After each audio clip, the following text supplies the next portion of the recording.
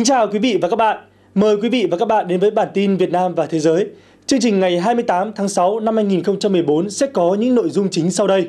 Hội đồng Nhân quyền Liên Hợp Quốc đã bế mạc khóa họp thường kỳ lần thứ 26 sau 3 tuần làm việc. Con số 10 với bước đi sai trái và vô lối của Trung Quốc trên Biển Đông.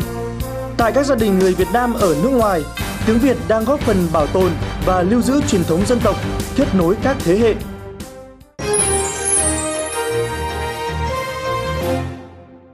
Thưa quý vị và các bạn, thông qua 31 nghị quyết, hai quyết định và một tuyên bố của Chủ tịch, chiều ngày 27 tháng 6 năm 2014 tại Geneva, Hội đồng Nhân quyền Liên Hợp Quốc đã bế mạc khóa họp thường kỳ lần thứ 26 sau 3 tuần làm việc.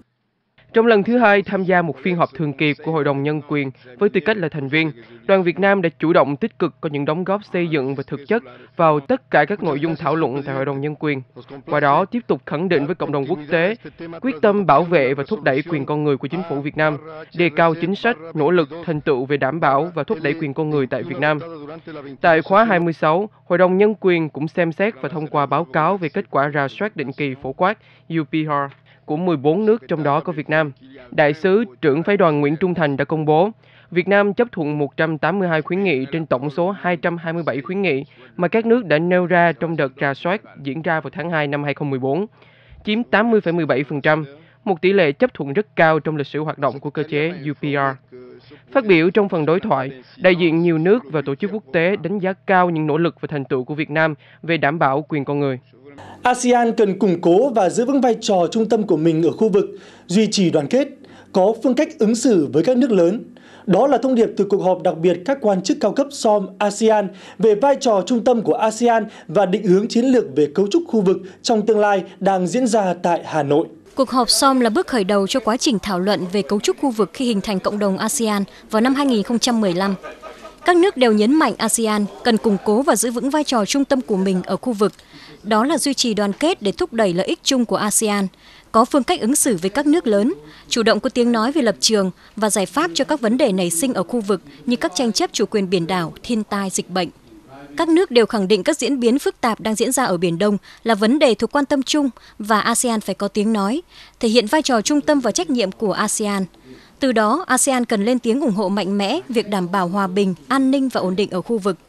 Các nước ASEAN nhấn mạnh việc tuân thủ luật pháp quốc tế, Công ước Luật Biển năm 1982 và tuyên bố ứng xử của các bên ở Biển Đông mà Trung Quốc là một bên tham gia ký kết, tích cực thúc đẩy để sớm có bộ quy tắc ứng xử ở Biển Đông. Thưa quý vị và các bạn, ủng hộ Việt Nam trong vấn đề Biển Đông – đó là chia sẻ của Phó Chủ tịch Quốc hội Bồ Đào Nha, ông Antonio Filipe trong cuộc tọa đàm với Phó Chủ tịch Quốc hội Việt Nam Uông Chu Lưu tại Cộng hòa Bồ Đào Nha.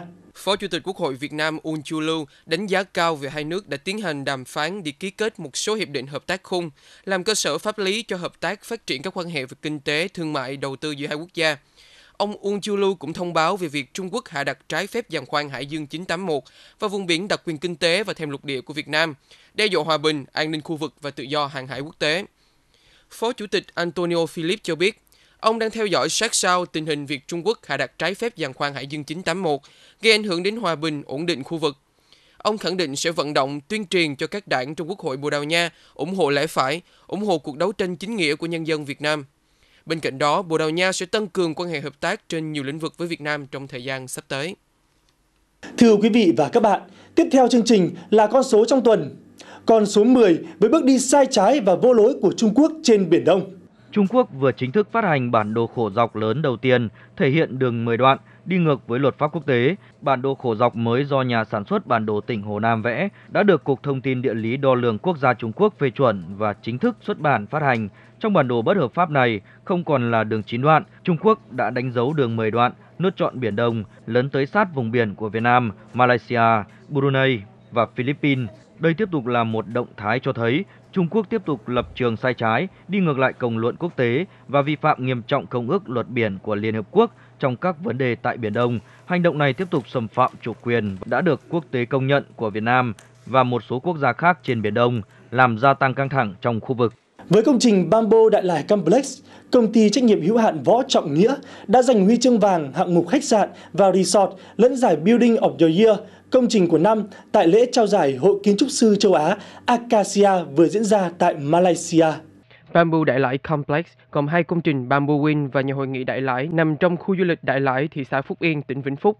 Bamboo Win do kiến trúc sư Võ Trọng Nghĩa thiết kế, xây dựng năm 2009, là nhà hàng và là nơi tổ chức sự kiện cho khu nghỉ dưỡng.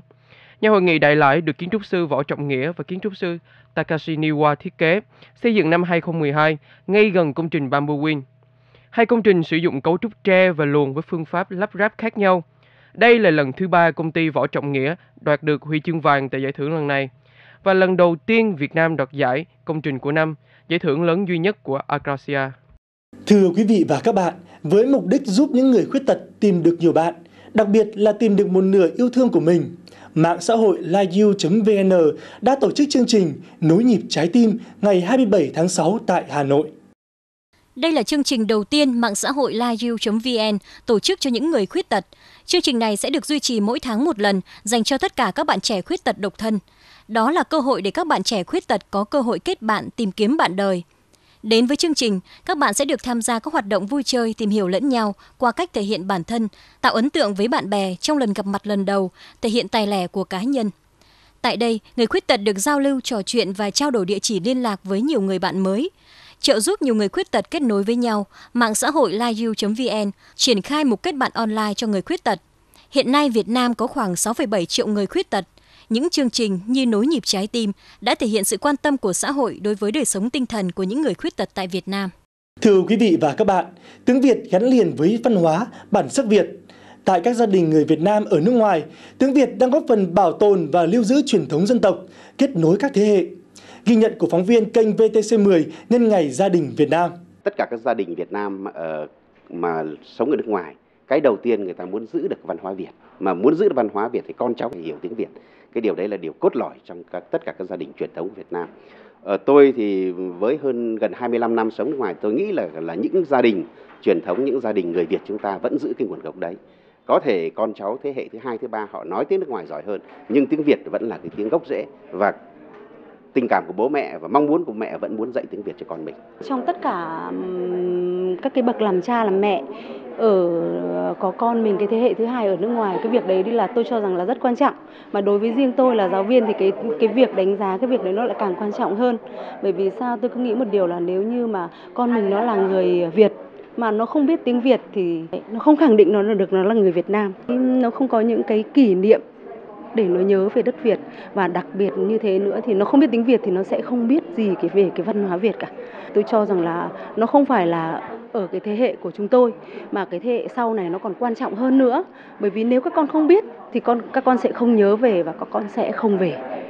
Các cháu ở Đức là được là cái thế hệ thứ hai và thứ ba là được, được học tiếng Đức và các cháu rất giỏi tiếng Đức. Nhưng các cháu lại mang cái khuôn mặt Việt Nam và các cháu cứ thắc mắc về cái nguội ừ, cội nguồn của mình. Tại sao mình mang cái um, khuôn mặt người Việt mà lại không nói được tiếng Việt? Và các cháu tự hỏi như thế và để giải đáp được cái câu hỏi cho các cháu thì các cha mẹ cũng như các hội đoàn ở Berlin rất là tích cực trong cái việc dạy dỗ các cháu tiếng Việt để các cháu giải đáp được cái nguồn gốc, cái cội nguồn của mình là từ cái tiếng Việt. Mà nếu như cái tiếng Việt nó gắn liền với văn hóa, nếu như tiếng Việt mà được bảo tồn thì cái văn hóa và cái truyền thống của người Việt sẽ được bảo tồn.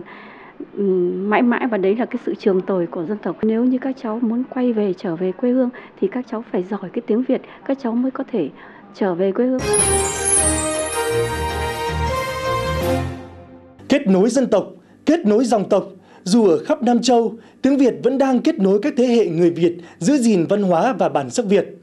Cảm ơn quý vị và các bạn đã quan tâm theo dõi chương trình. Xin kính chào tạm biệt và hẹn gặp lại.